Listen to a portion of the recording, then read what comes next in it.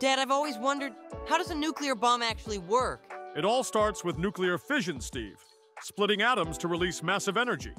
The fuel is usually uranium-235 or plutonium-239. When a neutron hits one of these atoms, it splits and releases more neutrons and energy. Like a chain reaction? Exactly! One split releases more neutrons, which trigger more splits. If enough of this happens quickly in a dense mass, you get a runaway chain reaction. So what makes it explode instead of just heating up? It's all about reaching critical mass, the minimum amount of fissile material needed to sustain the reaction. In a bomb, the material is kept in subcritical pieces and then forced together using conventional explosives. How do explosives help with that? In the implosion type design, shaped charges compress the core into a super dense state, making it go supercritical. That's when fission ramps up exponentially in microseconds. So how much energy are we talking about? Just a few kilograms of uranium or plutonium can release the equivalent of tens of thousands of tons of TNT, thanks to E equals mc squared.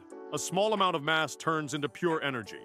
And it all happens that fast? On under a microsecond. The pressure and temperature spike to millions of atmospheres and degrees, forming a fireball and shockwave that levels everything nearby.